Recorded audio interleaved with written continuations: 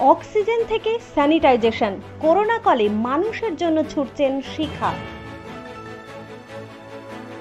বর্তমান মহামারী পরিস্থিতিতে করোনা আক্রান্ত পরিবারগুলোর সাহায্যার্থে বিভিন্ন রকম কর্মসূচি গ্রহণ করেছে শহরের স্বেচ্ছাসেবী সংগঠন থেকে শুরু করে রাজনৈতিক দলগুলো। করোনার দ্বিতীয় ঢেউ আছড়ে পড়তেই শহরবাসী থেকে শুরু করে সরকার সবার কপালেই একই রকম চিন্তার রেখা দেখা যায়। পরিস্থিতিকে সামাল দিতে মাঠে নামেন স্বেচ্ছাসেবী দলগুলি। পিছিয়ে নেই শহরের নেতা নেত্রীরাও। সম্প্রতি ডাবগ্রাম ফুলবাড়ি নবনির্বাচিত বিধায়ক শিখা চ্যাটার্জির উদ্যোগেও এদিন শিলিগুড়ি মেট্রোপলিটনের উনচল্লিশ ও চল্লিশ নম্বর ওয়ার্ডে বেশ কয়েকটি করোনা আক্রান্ত বাড়ি স্যানিটাইজেশন করা হলো। এদিন শিখা দেবী জানান তাদের দল সদাই মানুষের পাশে থেকে কাজ করছে। এদিন স্যানিটাইজেশন কাজের পাশাপাশি গুরুতর রোগীদের জন্য অক্সিজেনের ব্যবস্থা সহ আরও কিছু সহযোগিতামূলক কর্মসূচি গ্রহণ করা হয়েছে।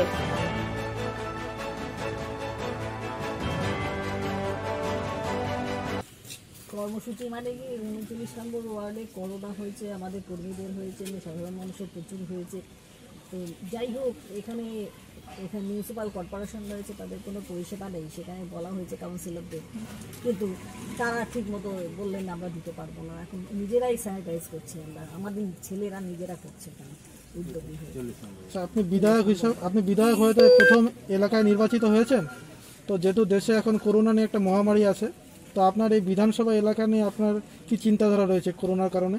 করোনার কারণে আমরা ওয়ার্ড বেসিসে একটা করে কমিটি তৈরি করছি এবং যারা করোনায় আক্রান্ত হচ্ছে, সেই সমস্ত মানুষগুলো যাতে পরিষেবা পায়, তারা কীরকম অবস্থায় আছে, সেগুলো দেখাশোনা করা এবং সরকারের হেল্পলাইন আমরা দিয়ে দিচ্ছি প্রচুর। দেখবেন আমাদের ইয়ের মধ্যে রয়েছে গ্রুপের মধ্যে দেওয়া রয়েছে হেল্পলাইন অক্সিজেনের প্রবলেম হচ্ছে, সেগুলো যাতে সলভ করা যায়, সেই সমস্ত চিন্তাভাবনা আমরা করছি।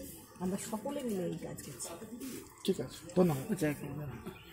শিলিগুড়ি পুর প্রশাসনের চেয়ারম্যান রয়েছেন গৌতম দেব। তা সত্ত্বেও এই গাফিলতি কেন? এ আপনি কি বলবেন?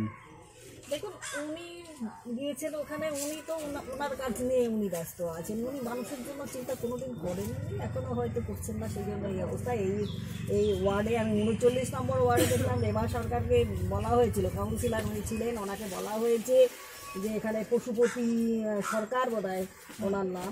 উনি বলেছিলেন যে স্যানিটাইজের ব্যাপারটা কিন্তু উনি ডিনাই করে দিয়েছেন আমাদের পক্ষে সম্ভব এরকম অবস্থা।